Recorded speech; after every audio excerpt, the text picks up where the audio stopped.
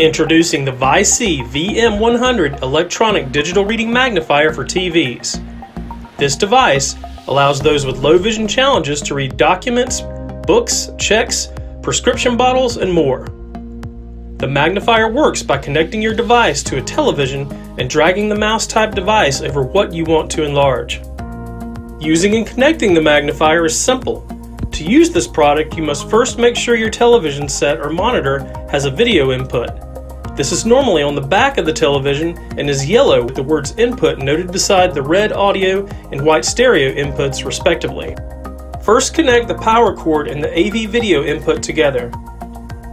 Then connect your yellow RCA plug into the yellow RC input on the back of your television set. Plug the power cord into an outlet and switch your magnifier to the on position.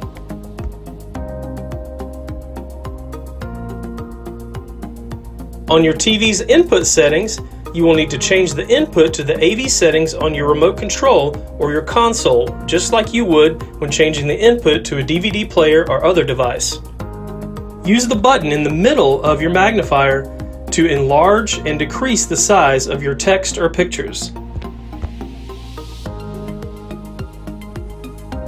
Some color patterns are easier on the eyes than others depending on the individual. Use the left Color Modes button to change the background and text colors with a click of a button. Use the button on the right side of your device to freeze your picture, and then click once again to unfreeze. When you are finished viewing, turn your magnifier to the off position and turn off your TV. It's as simple as that.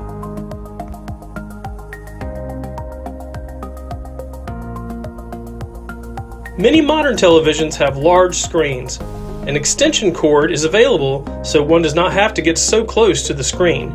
Please contact us for this information.